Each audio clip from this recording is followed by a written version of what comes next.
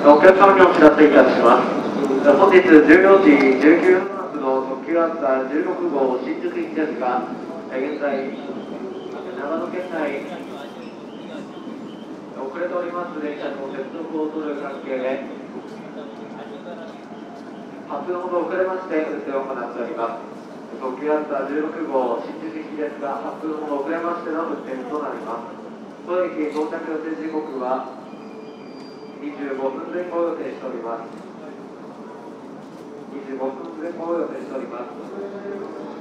そのため、新宿東京方面お急ぎのお客様、この3番線に参ります、突風発の中央東海東京行きをご利用ください。